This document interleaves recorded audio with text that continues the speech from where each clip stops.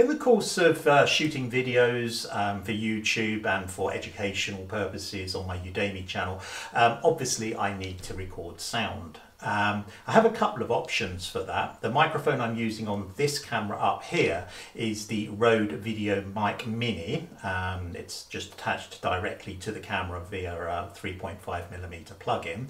When I'm out and about I tend to use the wireless Go 2 system from Rode. Um, that obviously is a wireless system, it's got a great range and uh, each of the microphones as well as talking to the receiver can record voice itself directly to the unit which has turned out really handy on my trip to uh, the Ukrainian border to get our cat. If you've watched that you'll remember that my microphone adapter for this camera failed so I had to record directly to the Rode units and continue to record that way and sync them up on my Mac uh, each day which was a pain to be quite honest. Anyway, Hohem, um, a manufacturer of photographic and video equipment, reached out to me and asked me if I would be prepared to do a review on their Mic Zero One uh, for Light Stalking. And I said yes, you know, obviously. I don't get paid to do the review. They provided this free of charge and also they have no editorial control of what I say in this video or on the Light Stalking article. So what you get is my opinion on this product. So let's have a little look at what it is. It's a um, dual microphone lavalier style microphone, wireless, um, that's designed primarily for smartphones. Um, this is the iOS version. It features a lightning adapter that will plug into the bottom of the phone. Uh, you can also get a USB-C version um, for smartphones such as Samsung and uh, other brands that use USB-C connectors. I believe the USB-C version can be plugged into a bigger camera such as my Fuji that I'm filming on up here. Um, however, it needs to be powered so you need to plug a power brick into the USB-C as well as plugging that into the camera. So it is primarily designed as a uh, microphone for uh, vloggers, social media users that shoot their content via smartphones. And uh, that's how we'll look at it for today. Anyway, let's open it up and have a little look at what's inside. Let's say I have looked at this before and uh, I've had a little run through so I understand what it's all about. Uh, on the top here you get um, the instructions uh, pretty good. Um, you've got a QR code here which allows you to download a tutorial um, uh, or watch a tutorial on YouTube, which I have done. Um, very clear and concise uh, tutorial that explains how this microphone system works. Um, quite impressive actually, very well done. Um, so that's that. And inside here, we've got the actual microphones themselves. Now, unlike the wireless uh, Go 2 system from Rode, this is actually charged up in its own case. So much like my AirPods here, um, I can actually charge this whilst it's actually in the case. There's actually a USB socket here, USB-C socket. You can charge the case and the microphones up whilst uh, in the case. But alternatively, if you're out in the field and you've lost power to one or the other microphone, you can pop it in here and it will recharge from this unit. Um, you get two microphones, they're quite uh, nicely designed. Uh, you've got a clip so you can clip them to your clothes like this.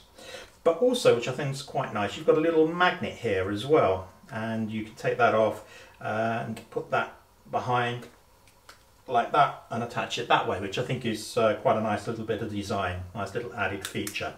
Um, it also features behind this little sticker here is a USB-C uh, socket. That's for charging the units individually, which would obviously be quicker than charging it through this case. Um, I would imagine also that it allows you to do firmware updates if uh, such thing exists. There's two of these. Um, you've got your on-off button here and uh, this is your pairing control here.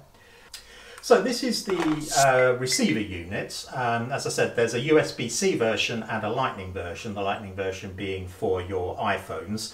Um, I think the iPhone 15 now uses USB-C, so you would obviously need the USB-C version for that, but uh, check on their website for that in detail. That simply plugs into the bottom there. The, the iPhone automatically realizes that there is a receiver attached and will switch to the microphone to this uh, Bluetooth system. If we take one of the microphones out, and if I give it a little press here, and you'll see the blue light comes on the top here, and we're just waiting. Yep, the, the blue light here is on, if you can see that, and the blue light here is on. That now means that these two uh, microphones are actually linked together. Uh, so recording is as simple as opening your app. Uh, you can use, uh, for example, the voice recorder if you just wanted to record voice. And uh, let's do that.